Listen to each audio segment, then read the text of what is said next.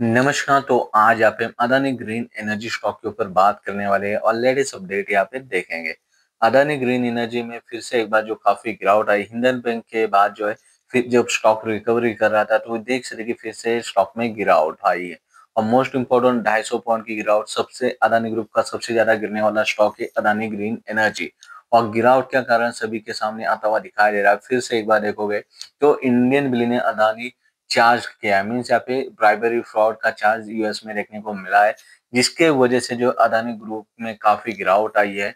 और अदानी ग्रुप भी के stock slump after news that founder charge by US justice department की तरफ़ से चार्ज किया है ब्राइबरी ऑफ़ फ्रॉड जिसकी वजह से गिरावट नज़र आई।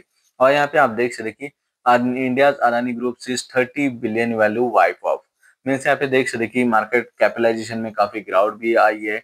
और जिसकी वजह से सेलिंग प्रेशर और भी बढ़ता हुआ दिखाई दे रहा है मार्केट के अंदर भी।